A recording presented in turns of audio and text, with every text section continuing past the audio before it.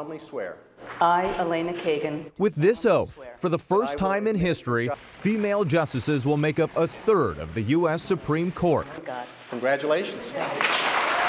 Chief Justice John Roberts presided over 50 year old Elena Kagan's swearing in ceremony.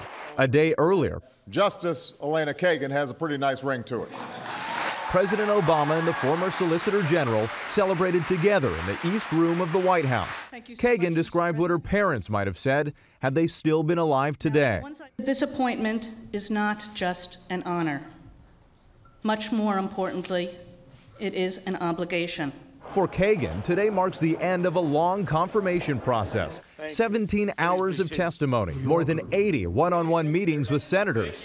Republicans criticize her lack of experience as the first Supreme Court nominee in almost 40 years who has never been a judge, and fear her political views could influence her rulings from the bench. Indeed, Ms. Kagan's career up to this point shows a willingness to bend the law and the facts to advance her own beliefs. All but one Democrat supported her, Mrs. Lincoln, aye. Praising her scholarly background and arguing she's the type who could mend a polarized court.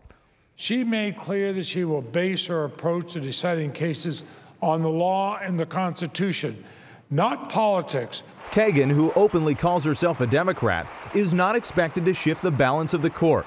She'll replace one of the more liberal justices in John Paul Stevens.